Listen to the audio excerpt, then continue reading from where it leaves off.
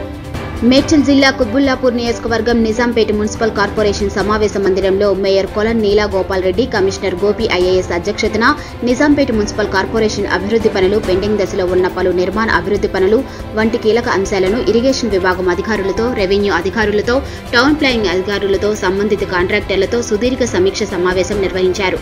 ఈ సందర్భంగా మేయర్ మాట్లాడుతూ పెండింగ్లో ఉన్న పనులను నిర్ణీత సమయానికి త్వరతగితేనే పూర్తి చేయాలని అధికారులకు మరియు కాంట్రాక్టర్లకు ఆదేశాలు జారీ చేశారు.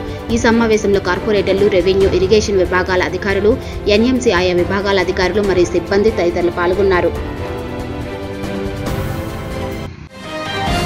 టుడే టీవీ ప్రతిక్షణం ప్రజాపక్షం.